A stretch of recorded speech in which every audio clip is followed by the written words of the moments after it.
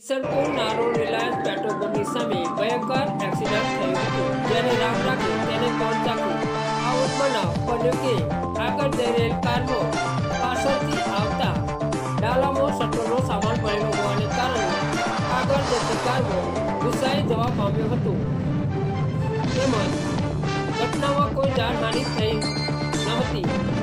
jeep મૂકીને driver ફરાર થઈ ગયો હતો